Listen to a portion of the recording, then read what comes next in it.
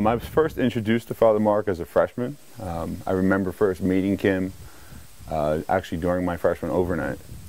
Um, he was at that time in a week that's kind of filled with chaos.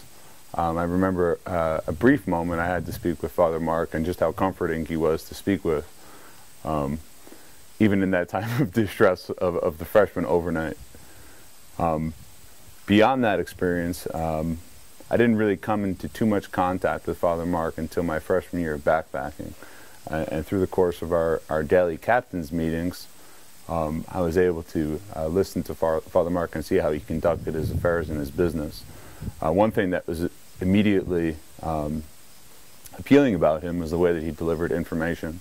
Um, he was always very uh, excellent communicator, um, and he made information very accessible to the people he was instructing um, which to me tells me that he really understood his audience, uh, which a great teacher does. I mean, Father Mark is certainly a great teacher. Um, so my first encounters with Father Mark were through backpacking. Um, and, and, on a couple occasions I've had, um, you know, over the years as a student, uh, to come up here through backpacking and spend time with Father Mark. Um, you know, I began to get a sense of how intelligent Father Mark was as he would tell me all random facts about uh, the galaxy and the universe um, and which star was going to be the North Star in another two million years, um, and all kinds of, of useful information that I'm sure I've forgotten more than half of what he's told me at this point. Um, my, uh, my next really kind of interaction with Father Mark was as a group leader, um, as Father Mark did um, create the group system um, that we take so much pride in. Father Mark, again, uh, is a master at, at advising, teaching, instructing, um, young leaders. And uh, his his real secret, though, is that he he gives advice in such a grandfatherly, gentle way that you never feel like he's telling you what to do.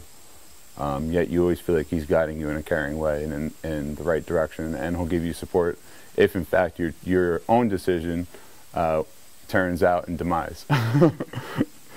Um, so those are uh, really kind of the two areas where I first got to know Father Mark. Oh, as an adult, um, getting to know Father Mark was even more rewarding. Um, for one, uh, he was always able to offer um, spiritual advice, um, you know, that you could always tell was genuine and heartfelt. And whenever um, you look at, at a person uh, that you know had a, had a spiritual calling and answered that calling, um, you could see certainly that that person was Father Mark. Um, you could tell every every word that comes out of his mouth, every action, um, is done in true, genuine care and in a true Christian faith. Um, you know, probably some of my best times with Father Mark have been on the trail as well, um, watching the times when he gets to be here, um, not as a leader of the project, but as a guest. You know, not that he's ever a guest on this project. He'll never be a guest on this project. but just as a person coming out to enjoy uh, for once not having any true work responsibilities and just coming out and being able to enjoy the kids.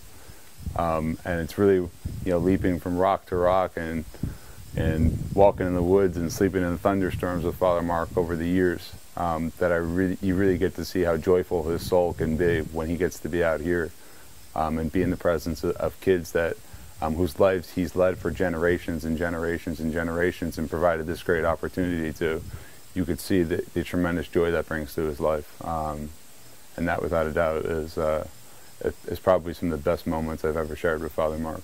Uh, um, I'll just say a closing statement. I would say, without a doubt, um, Father Mark has one, been one of the most influential men in my life outside of my own father and my own grandfather.